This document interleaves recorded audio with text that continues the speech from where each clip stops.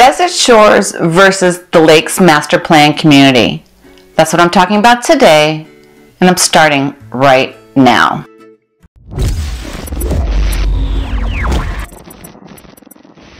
Hey everyone, welcome back to my channel. I'm Angela O'Hare, your favorite Las Vegas realtor.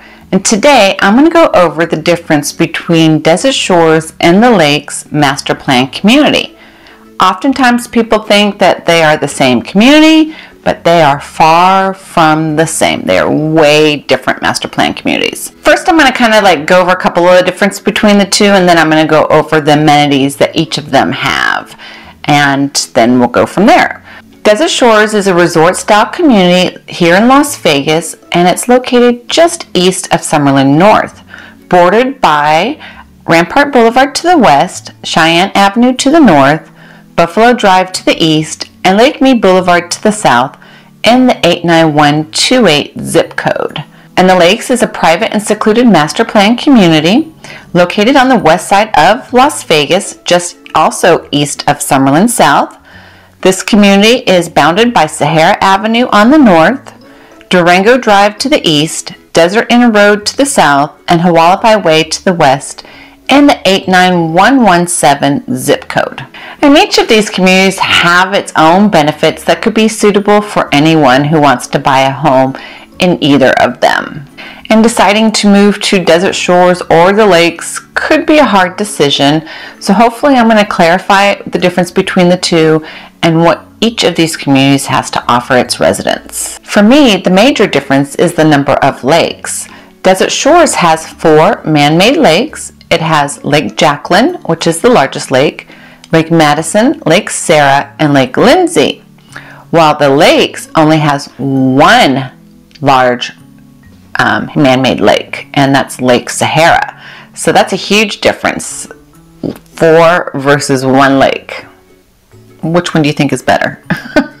I mean, yeah, the lakes has these little ponds, like they have four little ponds scattered throughout its master plan community, but there's only one large lake in the lakes while the Desert Shores has four. So I'm going to go over Desert Shores amenities and I'm going to go over the lakes amenities. And so you can compare the two as I'm going over each of them. Basically, Desert Shores encompasses about 682 acres. And um, again, it features four man-made lakes, a lagoon-style swimming pool surrounded by a sand beach, palm trees, a picnic park with volleyball, basketball, and playground facilities. Desert Shores was developed in 1988 by R.A. Homes, and there are 22 distinct um, residential districts in Desert Shores, with everything from condominiums to medium priced housing and large custom homes behind private gates. All the lakefront homes have direct access to the lakes and the option of private docks. There's a little over 3,300 homes in the Desert Shores community, and that includes condos and townhomes as well. And so Desert Shores, you know, the budget fits anyone's needs, basically anywhere from the low 200s for a condo to $2 million. It's pretty, um, anyone can live in Desert Shores community. So here's a list of what Desert Shores has to offer its residents. It has a 200,000 gallon um, lagoon style swimming pool. And during the summer season, it's open six days a week and closed on Mondays for maintenance. There's also a 2,100 square foot community clubhouse, and there's boating, paddle boating, and fishing. But if you want to go fishing, you actually have to be a resident of Desert Shores in order to fish, or they will kick you out. You have to have a Desert Shores card in order to go fishing at any of the lakes there. And then they also have a lagoon park with amenities like volleyball courts, basketball courts, picnic tables, playground area, the lagoon pool, you name it. They have tons of amenities at that lagoon park. They have Lakeside Shopping Center, and in that shopping center, there's numerous restaurants, um, nail salon, florists, and then also a wedding service where you can get married there in Desert Shores. It's a very nice, um, attractive amenity for those that live in the Desert Shores community. I often go there and eat at the Rooster Boy Cafe. Uh, the Americana is nice, and then I also like the Village Pub. And there's a French restaurant that I have yet to try out. so now I'm going to go over the lake's amenities, and this list is a lot shorter than Desert Shores amenities. The Lakes is an affluent two square mile community and it was built in the mid 80s to the mid 90s. The Lakes includes a variety of residential properties that range from condos and modest single family homes to immaculate estates with private docks located directly on the waterfront. There's about over 4,000 homes in the Lakes community, and buyers have option of choosing between gated, non-gated, or guard-gated communities.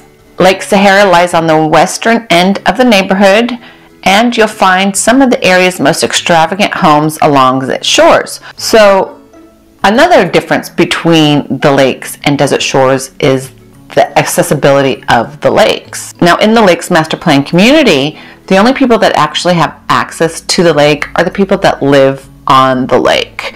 Unlike desert shores with the four man-made lakes, not only do the people that live on the lake have access, but so does everyone else. And it's very resident oriented where um, people walk around desert shores all the time. I've done video on both of them, but the main difference is again, four lakes compared to one large one with no access. Four lakes with access to all four of those lakes.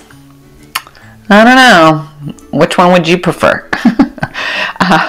um, anyway, so let's go into the amenities of the lakes. So the lakes has about 15 miles of tree line walking paths, where Desert Shores has about 8.5 miles of walking paths. So that's the difference between the two. Um, 15 miles, 8 miles, eh, I'd rather have access to a lake than have that many miles of walking paths. But that's just me. Also, they have like the Lake Town Center, just like they have Lakeside and Desert Shores. They have Lake Town Center at the lakes with, um, there's a dry cleaners. There's, uh, I think, a little place to eat. Not much, just it's very small compared to Lakeside.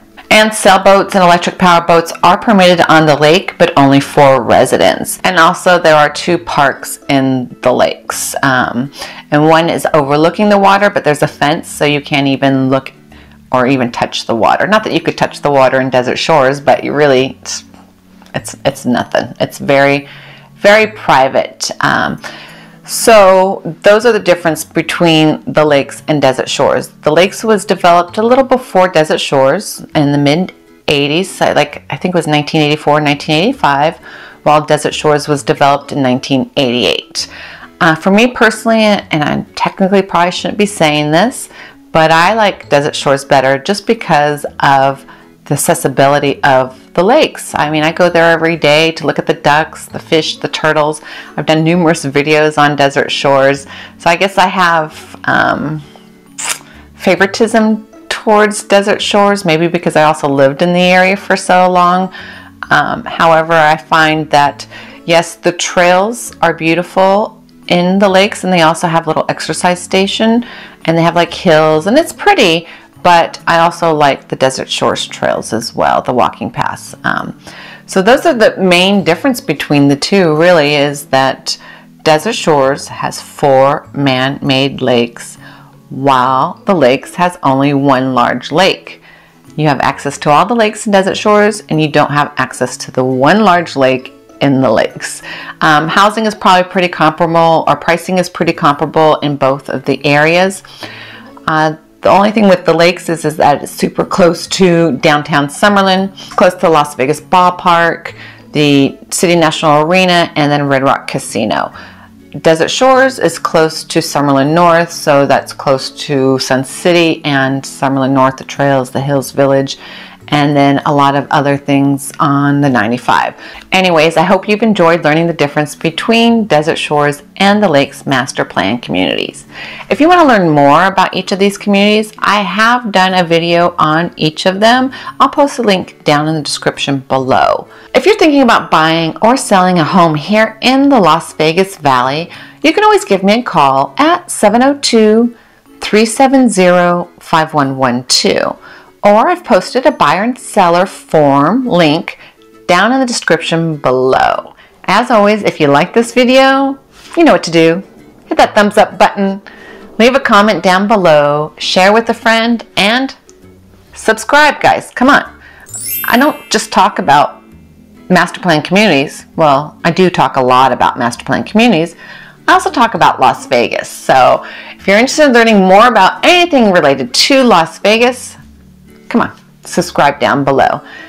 Uh, thank you so much for watching, and I can't wait to see you guys on the next one.